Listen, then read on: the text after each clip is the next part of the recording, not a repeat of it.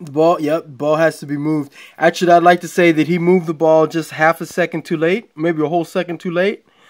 He's getting double and triple teamed. The ball has to be released from his foot to his open man, and his open man has to move the ball to open space. As you see here, they're getting the ball to open space in the backfield. Excellent decision making. The red side is going to double the ball, especially now that they have the 1 0 lead early. Anytime that it's in the defensive side, they're going to double the ball.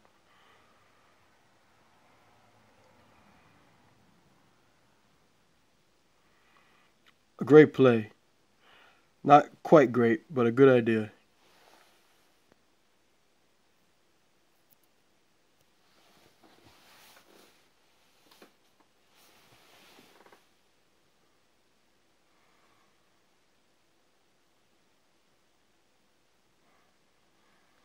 Yeah, obviously, you would have expected him to go to the outside of the field.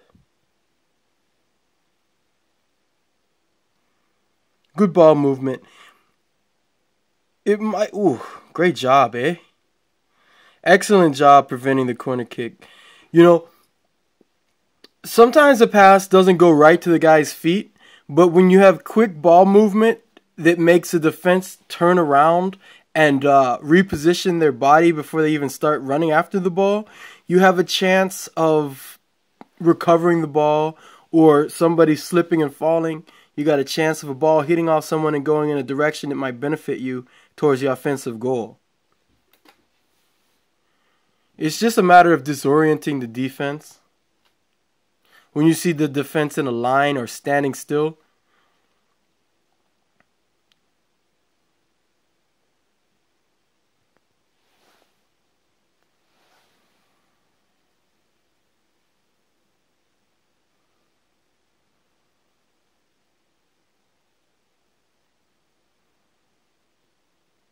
Right. That's the right thing to do. Oh, that's beautiful playmaking. Mm. You did expect more from the guy going to the corner, though. What you're expected to do is to get the ball, stop the ball before the. Uh... Oh, he looks like he hit his head off the sign. Too many ads in soccer. I got to tell you right off the bat, just too many advertisements. It's despicable. But um, yeah, you know, when the guy going to the line is chasing the ball at towards the corner flag, you're expected to just stop the ball, recover the ball, and make a one-on-one play with the defender with the attempt to get the ball across the crease towards the goal. Strong physical contact, eh? You know, I tell these young soccer players, right? In some regions, the officials will call every bump, every nudge, every push. But to be an offensive soccer star, you have to be strong. You have to be able to take a strong body contact and stay on your feet.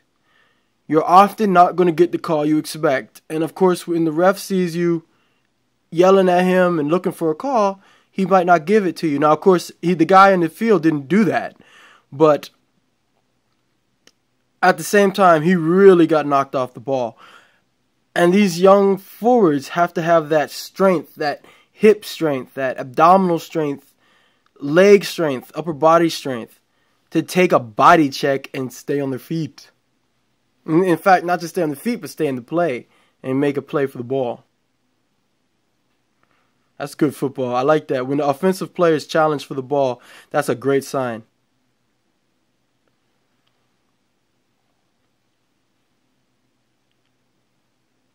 Strong, strong work.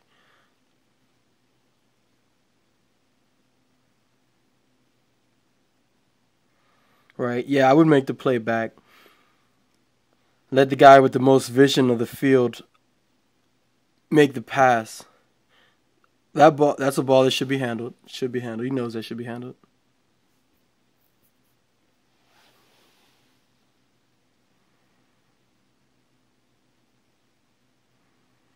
I like the officiating in this match. They're not blowing the whistle every time people bunch up and make contact.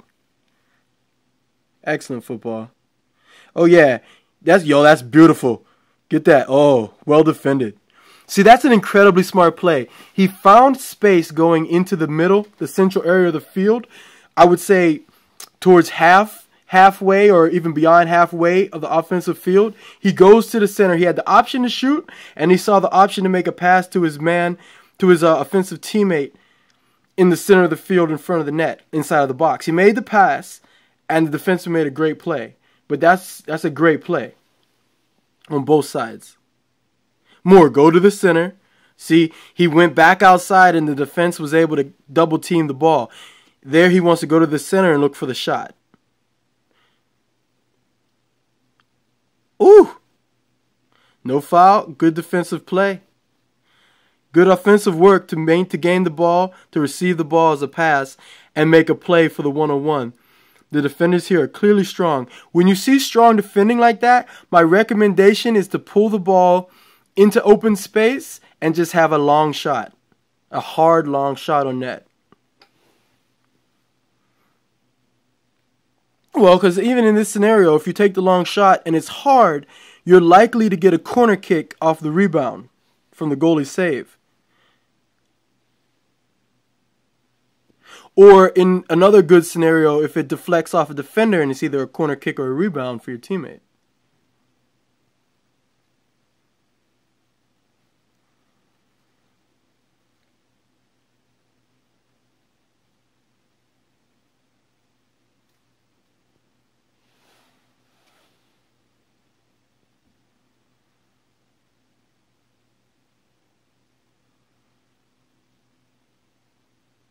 See, the passing is excellent. The positional passing is excellent.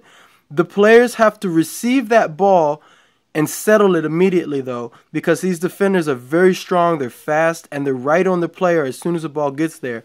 And they don't have time to let the ball bounce in the air and recover. Oh, great pass. Have a shot, eh?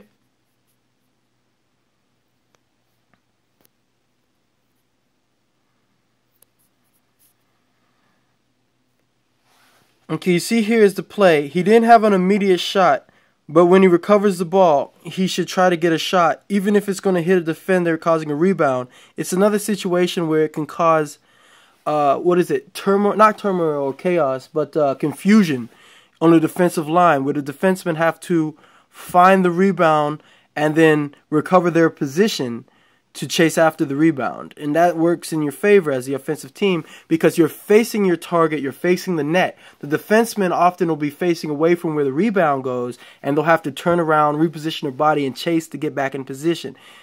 And you can take the immediate shot as soon as you can get to the ball, throwing off the goalie and the defender.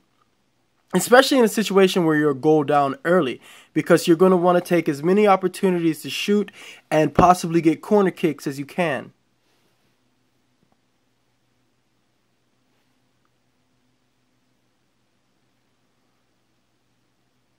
Oh, good strong work, eh?